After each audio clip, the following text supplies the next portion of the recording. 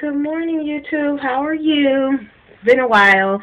Um, actually, when I post this, I'm gonna post like five videos, so it hasn't really been a while. But I just wanted to show you guys that I wore Beyonce again. It's it's really really cold here in Houston, and so I decided to put Beyonce back on. You know, I wore it yesterday, and, you know, I was nice and warm. I'm like, okay, this is the weather that you're supposed to wear the big hat. So, I got on Beyonce today. So, let's see how this works.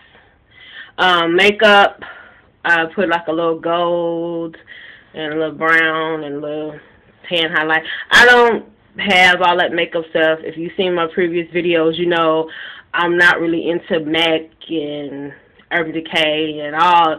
I'm just makeup. Care. It's, it's his LA Colors. I'll rock it. This is what I got on my lips. It's LA Color. Actually, that's what I got on my eyes too. I think. No, no. Mm-mm, mm-mm. It's an old palette I had from Revlon. I think. Is it Revlon or? Anyway, it's all about. But nevertheless, I mean, eyeliner mascara, and I have on a brown, like a chocolate pencil liner, and I have uh, topaz and lip gloss. That's it. LA Colors Topaz on lips. That's it.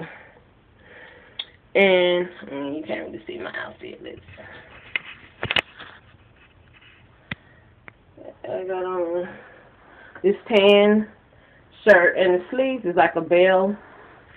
But I got on my coat already, so I don't know. I mean, it wasn't worth it. I got my brown, my five dollar brown pants on. I got mm, five dollars, and that's it.